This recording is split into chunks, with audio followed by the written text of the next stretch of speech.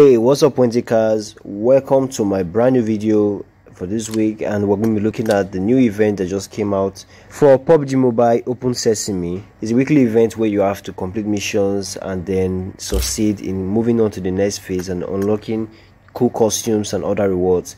As you can see you have three missions to complete daily to get this crystals. And once you get a total of 100 crystals you open the door to the next chapter of the story of the open sesame event. So on the second part of this event which is the second chapter there'll be much cooler rewards than this one you're seeing right now. And uh, it will be much better and more rewarding. So if you want to get one of the four expedition rewards in the second part of this event you should complete this mission and then get your rewards collected before the event ends all right i'm feeling lucky tonight uh, and i want to open some crates with some coupons i have already.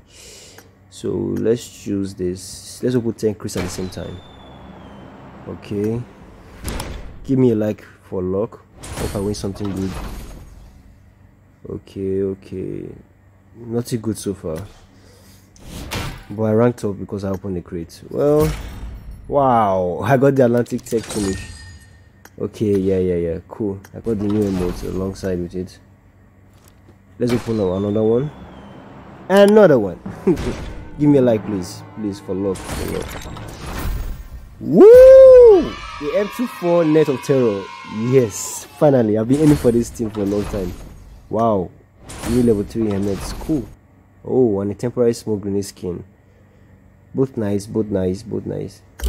Okay so for the open sesame uh, i'm just gonna collect some cool rewards here. Going through some things i've gotten before. I got the 60 uc voucher. I want to take a spin.